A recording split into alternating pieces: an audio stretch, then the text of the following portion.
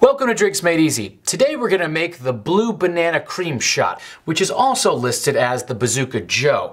Now, we don't really know why this listed this way on so many blogs because it doesn't taste like Bazooka Joe. If you take the Irish cream out of it, sure, but these blogs need to stop lying.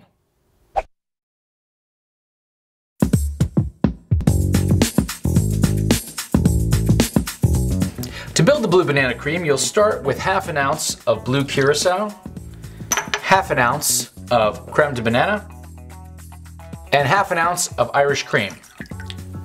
Cap that off into a shaker full of ice and give it a good shake. Strain it into your shot glass. And there you have the blue banana cream shot. Nice. My shot. Hey Mike, why did the banana go out with the prune? I don't know. Because it couldn't get a date. Kind of like you, especially in that shirt. That's on my shirt? Where to begin? Oh, whatever. Cheers from Drinks Made Easy. If you enjoyed this video, please be sure to like, subscribe, and click on the bell icon so you'll be notified anytime we release a new video. And leave a comment below and tell us what did you think of Mike's shirt.